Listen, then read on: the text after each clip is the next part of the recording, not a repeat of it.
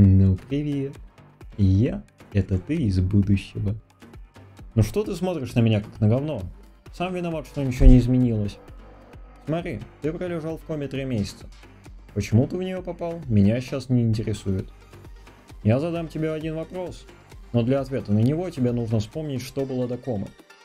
А что будет, если я откажусь? Тогда я верну в общий доступ видео по Геншин Импакту. Ладно, уговорил. АЭ Кремонит. После внезапно приобретенного скелетного ключа, который я получил используя свои связи с Джунима, я понял, что жить мне осталось недолго, и на самом деле нужно было беспокоиться насчет моральных приобретений. Я быстро осознал, что в городе Пеликан живут слишком печальные люди, и я могу стать для кого-то специальным человеком. А кому, зачем, как быстро и насколько я моральный ублюдок, рассказывать буду в этом видео. Вы можете перейти по тайм-кодам в описании, если интересуетесь конкретно одной категорией. Приятного просмотра! Окей, кроме бесполезного ворлдбилдинга, давайте расскажу, что происходит на самом деле. Это спидран Сардю, где игрок должен завершить свадьбу максимально скоро, и я буду разбирать три варианта. Без багов, с багами и мультиплеер. Сообщество спидранеров Старью разрабатывали разные пути для разных персонажей, но прямо сейчас самый быстрый способ выйти замуж без багов лежит через Шейна. Мировой рекорд поставил Захабу, заточив Шейна дома за 40 минут и 42 секунды. Его стратегия отличается от публично доступной, и без знания событий точь-в-точь -точь повторить его забег почти невозможно. Поверьте мне, я пробовал. Вместо этого я покажу вам мой забег по пути, доступному на форуме, который длится примерно час. В создании персонажа главное выбрать женский пол, лесную ферму, а также взять два отдельных домика на старте. Сразу после появления нужно взять семена пастернака и расчистить огород 15 на 3, убрав вокруг него всякие камни, палки и сорняки. Если они разрастутся, то могут забрать часть урожая. После посадки нужно полить только две клетки. Так этот пастернак вырастет быстрее, чем остальные, а трата времени будет меньше. Далее в забеге начинается первый рандом. Нужно поймать 3 дождя до 11 числа, пропуская дни. 3 числа гарантированно будет лить дождь, то есть шансы не так малы. Советую пробовать поймать дождь до 9 числа, а если он не выпадет, поливать 9 и 10 числа две грядки самому. 11 числа игрок просыпается, собирает два пастернака и идет к нижней части карты, параллельно срубая деревья. Теперь можно объяснять, зачем нужны два отдельных домика на старте. Выбрав конкретно два, можно получить домик снизу карты.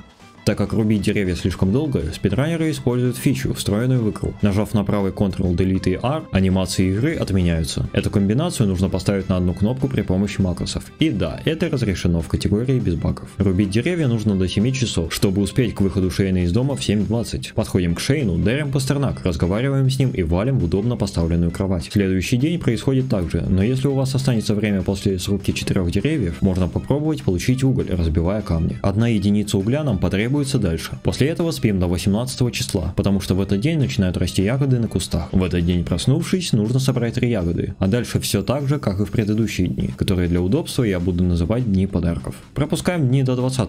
20 весны чуть ли не самый важный день спидрана, ведь тут игрок получает достаточный капитал и определенное количество древесины. С 6 часов фермер должен поставить сундук и сложить в него все, кроме топора, кирки и косы. Следующий шаг – пробраться в левый угол карты, не потратив энергии. Попав сюда, тебе нужно пройти наверх, собирая весенние растения, которые тут появились по причине лесная ферма. Как только они кончатся, добываем древесину, проходя к правому выходу с фермы. Тут следует потратить всю энергию до 9 часов. Если вся потраченная осталось время, можно собрать растения на автобусной остановке. В 9 продаем первый весь инвентарь, и в этот момент рана разделяется на два варианта. Легкий на медленный и быстрый, но сложный. Деньги пойдут на пиво, ибо как по-другому манипулировать депрессивными людьми, кроме как пивом.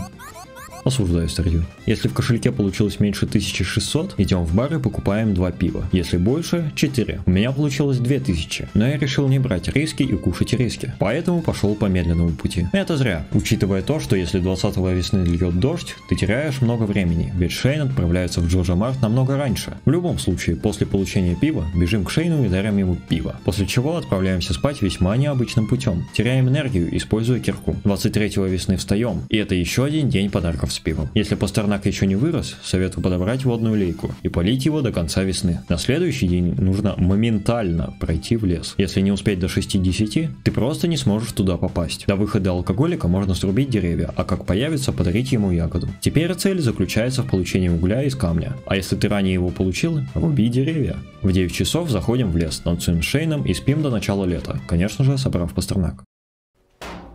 Лето.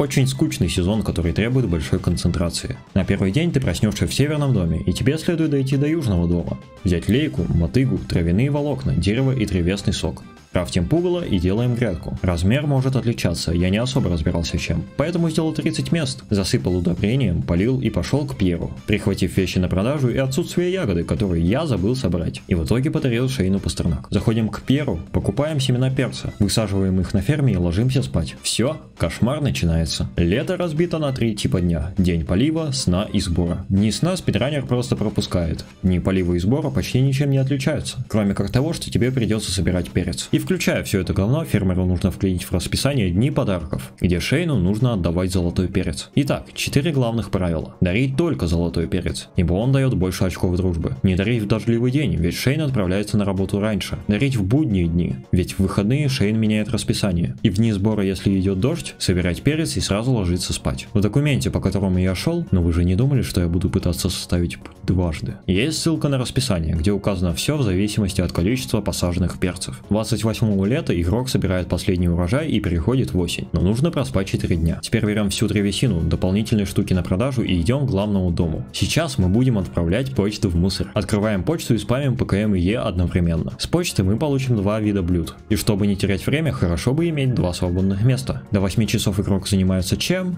Правильно, добыча древесины. Выходим в город, дарим Шейну перец, продаем все, кроме трех золотых перцев. Если у вас получилось 14 тысяч золота, то все хорошо. Если нет, код коричневый, потому что мы идем покупать дом у Робин. 5 числа настало время проверить почту снова. Тут же и пригождается выбор пола. Женщины получают 1000 золота от мамы, когда мужчины нет. Это еще один день дарения, но со своими сложностями. Нужно сначала подарить букет, потом поговорить, а потом дать перец. Сделайте в неправильном порядке, потеряете много времени. Если спидранер выбрал путь с двумя кружками пива, дарим на восьмой день предпоследний перец. И последний в день дождя до 14 числа. Если в этот же день льет дождь, бежим на пляж, чиним мост, покупаем ракушку и дарим Шейну. После чего спим до катсцены. Ран завершается на поцелуе, и у меня получилось жениться на Шейне за 1 час, 2 минуты и 46 секунд. Учитывая то, что это был мой первый успешный ран, неплохой результат. И если мой спидран подтвердят, то я буду на 14 месте.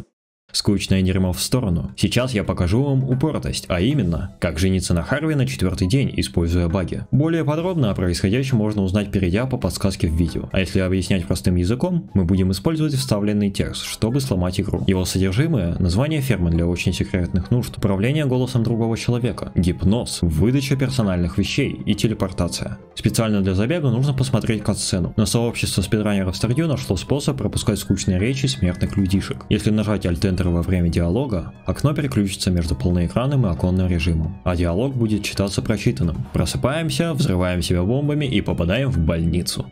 Но вообще-то не попадаем, тут работает другой баг с названием введение события. Когда игрок умирает, его имя используется системой событий, и когда она читает, содержимое текста срабатывает в игре. Первая команда заставляет Харви создать еще одно ожерелье русалки. Вторая автоматически повышает уровень с ним до дофига. Третья выдает жезл телепортации. Четвертая делает катсцены пропускаемой, а пятая оставляет игрока после катсцены на заданных координатах. Игрок после всех этих манипуляций выдает ракушку Харви и возвращается домой при помощи жезла, после чего пропускает дни без сохранения. Зажав E или Escape на один конкретный фрейм, игра пропустит анимацию сохранения. Но игрок появится у дверей из дома. Текст Мэра Льюиса пропускается с изменением вида окна. И мировой рекорд держит Рая со временем 1 минута, 10 секунд и 700 миллисекунд. Сами люди в сообществе говорят, что это время близко к идеалу, и победить его почти невозможно.